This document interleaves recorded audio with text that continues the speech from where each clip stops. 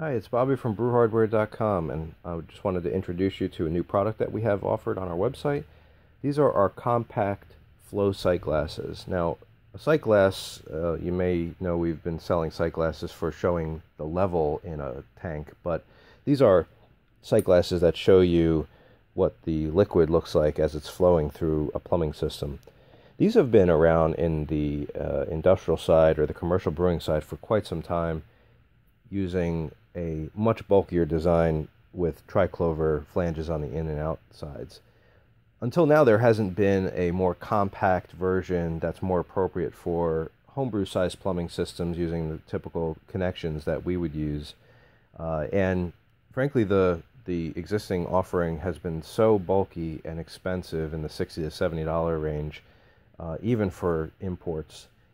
These particular units were designed to be much more compact, easier to use, and most of all, much more inexpensive. Now, we've constructed these, you know, from scratch out of machine 304 stainless, and the tubing that we use is borosilicate glass, so it's high temperature glass, not plastic, and the entire thing is stainless glass and silicone. We only use silicone for the seals here. The viewing window is two inches long and the inside diameter all the way through is a half inch.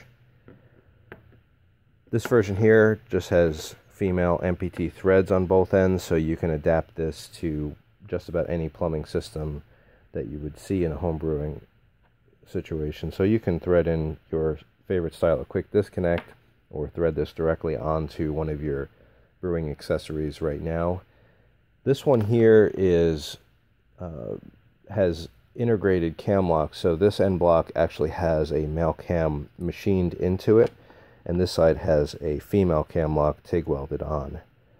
So it's much more compact. If you were to try to use this one to build this, for example, you'd have to thread in an, an F and a B cam lock, which would make it a lot more bulky, and then you have more places for crud to to get trapped. So this particular unit is, is a lot better if you're already invested in the Camlock system. All right, so if you're doing something like recirculating your mash with a pump and you want to look for bubbles in the line or check for clarity of your, your wort uh, during a Vorlauf or something like that, then you can adapt this. Another use would be to verify that you have good flow on the output of like a rims tube um, so to be sure that you're not dry firing your element or getting any uh, uh, boiling or anything like that.